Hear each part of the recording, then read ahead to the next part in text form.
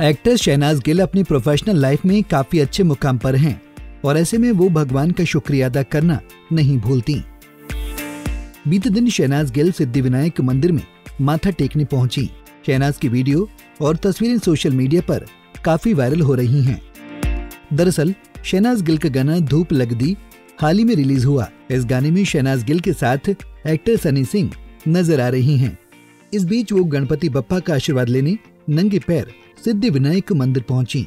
शहनाज गिल ने भगवान गणेश के चरणों में माथा टेका और आशीर्वाद लिया। इस दौरान वो काफ़ी खुश नज़र आईं। शहनाज गिल के साथ उनके भाई शहबाज नज़र आए। लुक की बात करें तो शहनाज ने व्हाइट कलर का सूट पहना, जिसके साथ ऑरेंज दुपट्टे को सिर पर कैरी किया था। मंदिर से बाहर आने की शहनाज ने मीडिया को मिठाई बांटी।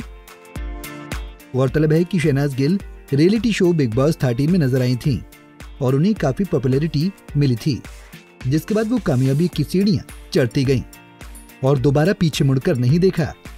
शहनाज गिल ने सलमान खान की फ़िल्म किसी के भाई, किसी जान से बॉलीवुड डेब्यू किया था। आपको शहनाज का लुक और उनका गाना धूप लग दी कैसा लगा? कमेंट बॉक्स में ज़रूर बताएँ।